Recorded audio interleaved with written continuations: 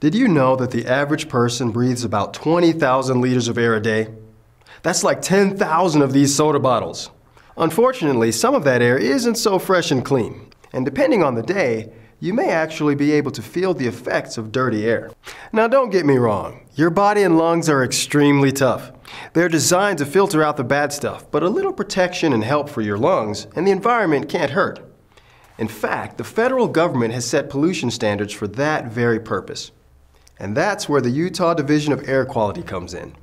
The DAQ tracks pollution levels all across the state to regulate these standards, but it wouldn't do any good if we kept this information to ourselves, now would it? Our findings and all the tools and resources to help you know what's going on in the air around you are available through airquality.utah.gov. Armed with this info, you can take action to protect yourself. The first thing you'll notice on the website is a three-day forecast. It's an air quality forecast for eight Utah counties that have pollution problems. Click on your county to learn more about the air you're breathing. How does the forecast work? Well, I'll tell you. It shows you what you can expect today and over the next few days, just like a weather forecast. But instead of 72 degrees and sunny, it's all about air quality. Depending on the concentration of pollutants in the air and the anticipated levels over time, each day will be labeled green, yellow, or red. Now these yellow and red colors are simply a call to action to reduce pollution.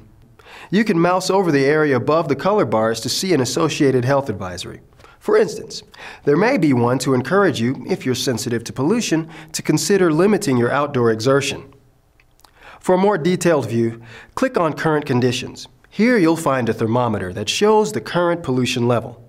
There are two kinds of pollutants that are featured here, during the summer months from May to September, the thermometer indicates ozone levels. Ozone is the main ingredient of smog and is particularly troublesome during hot sunny days. More bad news for sunbathers. For the rest of the year, from October to April, the thermometer measures a pollutant that can become a big problem during Utah's winter inversions.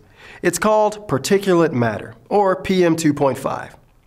PM2.5 aggravates health conditions like asthma and heart disease. Basically, when the thermometer exceeds 75 for ozone or 35 for PM 2.5, red action alert days go into effect, calling for no wood burning or reduced driving. Pollutant levels as well as the temperature, wind speed, and wind direction data are on this page.